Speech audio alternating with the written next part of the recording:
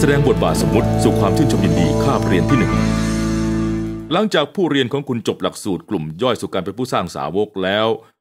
พวกเขาก็จะพร้อมที่จะนำผู้เชื่อใหม่หรือสมาชิกใหม่ผ่าน 7 คาบเรียนตัวต่อตัวของสู่ความชื่นชมยินดี และ 11 คาบเรียนตัวต่อตัวของสู่การเติบโต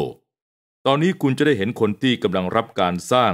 โดยใช้บทเรียนสู่ความชื่นชมยินดี ให้คุณเปิดไปหน้าหนึ่งและหน้าหนึ่งต่อเนื่องของคู่มือผู้สร้างสาวกสู่ความชื่นชมยินดี เพื่อคุณจะได้ดูตามไปขณะที่ผมพบกับคริสเตียนใหม่ที่ชื่อริชาร์ดครับ ครับริชาร์ดเราดีใจมากที่คุณมาเป็นคริสเตียน และก็ยังตัดสินใจเรียนตัวต่อตัวกับผม เพื่อจะเป็นคริสเตียนที่ดียิ่งขึ้นนะครับ เราจะช่วยกันและกันให้เติบโตอย่างคริสเตียน เราอยากจะให้หนังสือพิเศษเล่มนี้แก่คุณมันชื่อคู่มือที่มดทีสู่ความชื่นชมยินดี เราจะเติบโตไปด้วยกัน ผมจะช่วยคุณเติบโต และคุณก็จะช่วยผมเติบโตฝ่ายจิตวิญญาณดังนั้นให้เราเดินหน้าแล้วเริ่มโดยการเปิดไปที่หน้าหนึ่งในหนังสือของคุณเอ่อผมขอเริ่มโดยการเล่าให้ฟังนิดหน่อยเกี่ยวกับครอบครัว แล้วก็อาชีพของผมนะครับ คือว่าผมมีลูกชายอายุเอ่อ26 แล้วเขาก็เรียนสาขาประวัติศาสตร์ ผมยังมีลูกสาวอายุ 24 เธอเรียนสาขาเพลงประสานเสียง เรียนปริญญาโทเอ่อในด้านนั้น แล้วก็ผมเอิ่มเอ่อชอบเล่นเปียโนแล้วก็เอ่อเอ่อทำงานอดิเรกหลายอย่างอะไรทำนองนั้น คุณช่วยเล่าเรื่องครอบครัวของคุณให้ฟังหน่อยเอ่อจะได้ไหมครับเอ่มผมแต่งงานแล้ว ผมแต่งงานมาสี่ปีแล้ว เราไม่มีลูกเอ่มเราชอบกิจกรรมกลางแจ้ง เราพายเรือแคมปิ้ง และออกไปสำรวจ อือฮึแล้วคุณทำงานอะไรครับเอ่อผมทำงานบริษัทโทรศัพท์มาโอเค ราวๆสิบเอ็ดปี โอเค ดี โอเค เรามาดูบทเรียนของเรากันเลยนะครับ ให้เราอ่านออกเสียงต้อนรับสู่บทเรียนสู่ความชื่นชมยินดี คุณเป็นคนเริ่มอ่านได้ไหมครับ ถ้าคุณไม่สะดวกที่จะอ่าน ผมจะเป็นคนอ่านเองก็ได้ และคุณสามารถดูตามไป คุณสะดวกที่จะอ่านไหมครับเอ่อครับ ผมอ่านโเคได้งั้นเริ่มอ่านเลยดีกว่านะครับ เอ่อต้อนรับสู่บทเรียน สู่ความชื่นชมยินดี เพื่อแสดงความยินดีต่อความปรารถนาของคุณที่จะเติบโตในชีวิตคริสเตียน คุณจะไม่เพียงได้รับหนังสือเล่มนี้เท่านั้น แต่ที่สำคัญกว่านั้นคุณจะได้เพื่อนด้วย ทุกครั้งที่คุณมาพบกัน คุณสามารถมีการสามัคคีทำดีๆ แบบคริสเตียน ระหว่างช่วงเวลาที่คุณอภิปราย อธิษฐานและศึกษาพระคัมภีร์ คุณจะมีโอกาสได้รู้จักกันและกันมากขึ้น ตามปกติเราจะใช้เวลา7-10ถึง10 สัปดาห์ เพื่อจะเรียนบทเรียนสร้างแรงบันดาลใจนี้จนจบ เราอธิษฐานขอให้ช่วงเวลาต่อจากนี้จะเป็นหลายสัปดาห์ที่คุ้มค่า และน่าพึงพอใจที่สุดเท่าที่คุณเคยสัมผัส ยากอบบทที่ 4 ข้อ 8 กล่าวว่า ท่านทั้งหลายจงเข้าใกล้พระเจ้าและพระองค์จะเสด็จเข้ามาใกล้ท่าน การพบกันครั้งแรกนี้จะแตกต่างจากครั้งอื่น ๆ ที่เหลืออย่างมาก เพราะเราต้องการให้แน่ใจว่าสมาชิกของคริสตจักร มีความเข้าใจที่ชัดเจนเกี่ยวกับความหมายของการรู้จักพระคริสต์ในฐานะพระผู้ช่วยให้รอดส่วนตัว เราเชื่อว่าคุณจะได้รับการเสริมสร้างจากบทเรียนพื้นฐานนี้ ถึงแม้คุณจะเข้าใจเนื้อหาสำคัญของบทเรียนนี้ทั้งหมดหรือบางส่วนอยู่แล้ว โอเคครับ ถ้าเราเริ่มศึกษาพระคัมภีร์กันเลยในวันนี้และวันนี้เราจะมุ่งเน้นเรื่องการทำความเข้าใจพระกิตติคุณ คุณช่วยอ่านต่อได้ไหมครับ ครับเอ่อทำความเข้าใจพระกิตติคุณ ความต้องการฝ่ายจิตวิญญาณของมนุษย์ ตามที่พระคัมภีร์เขียนไว้ว่า ไม่มีผู้ใดเป็นคนชอบธรรมสักคนเดียวไม่มีเลย โรมบทที่3ข้อ10 บันทึกเหตุการณ์ที่มนุษย์ไม่เชื่อฟังพระเจ้าครั้งแรกถูกจารึกไว้ในปฐมกาลบทที่ 2 และ 3 อ่านต่อไหมครับครับเอาช่วยอ่านต่อและอ่านข้อพระคัมภีร์ถัดไปได้ไหมครับเอ่อพระยาเวห์พระเจ้าจึงตรัสสั่งมนุษย์นั้นว่า ผลไม้ทุกอย่างในสวนนี้เจ้ากินได้ตามใจชอบ แต่ผลของต้นไม้แห่งการรู้ถึงความดีและความชั่วนั้นห้ามเจ้ากิน เพราะในวันใดที่เจ้ากินเจ้าจะต้องตายแน่ โอเคปฐมกาลต้องขอโทษด้วยนะครับโอคไม่เป็นไรครับ เอาละจากพระคัมภีร์ในข้อนี้อะไรเป็นข้อจำกัดหนึ่งอย่างที่พระเจ้าวางไว้ให้มนุษย์ครับ เอ่อเจ้าต้องไม่กินผล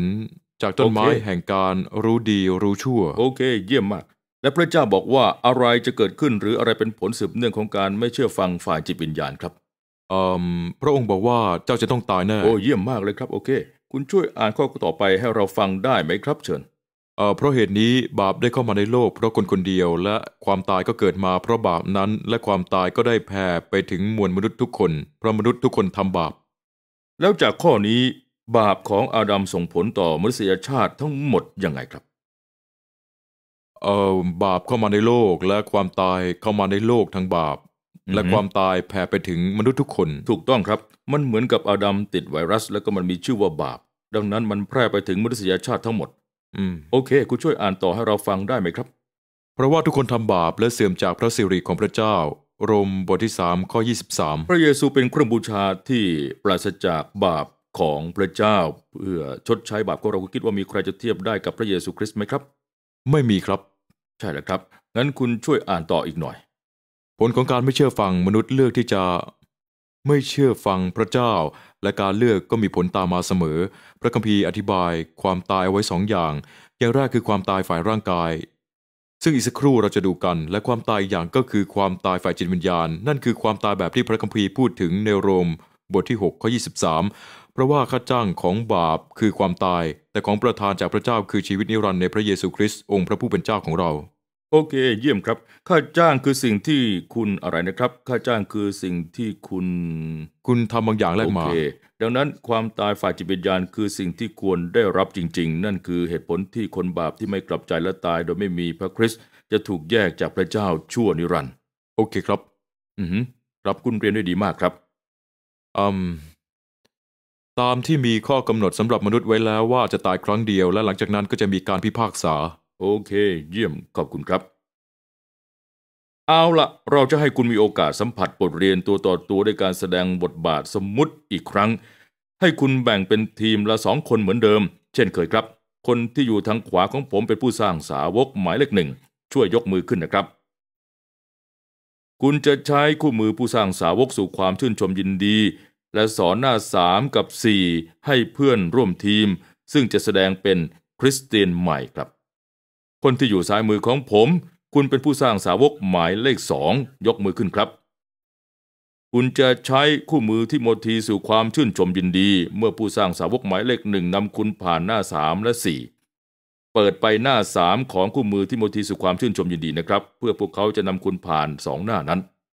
ทีนี้เช่นเคย ผู้สร้างสาวกหมายเลขหนึ่งเมื่อคุณมาถึงหน้าห้าคู่มือสร้างสาวกของคุณ ก็ให้คุณสลับบทบาทกับเพื่อนร่วมทีม เพื่อผู้สร้างสาวกหมายเลขสองจะได้เป็นผู้นำและคุณจะเป็นทิโมธีไปตลอดคาบเรียนที่เหลือ เหมือนที่คุณทำกับบทเรียนสู่การเป็นผู้สร้างสาวกอีกครั้งนะครับ ผู้สร้างสาวกหมายเลขหนึ่งเมื่อคุณมาถึงหน้าห้าในคู่มือผู้สร้างสาวกของคุณ ให้คุณสลับบทบาทกับเพื่อนร่วมทีม เพื่อผู้สร้างสาวกหมายเลขสองจะได้เป็นผู้นำและคุณจะเป็นทิโมธีไปตลอดคาบเรียนที่เหลือ เหมือนที่คุณทำกับบทเรียนสู่การเป็นผู้สร้างสาวก โอเคครับคุณเริ่มได้เลย ผมจะรอพบคุณอีกในเนื้อหาส่วนต่อไป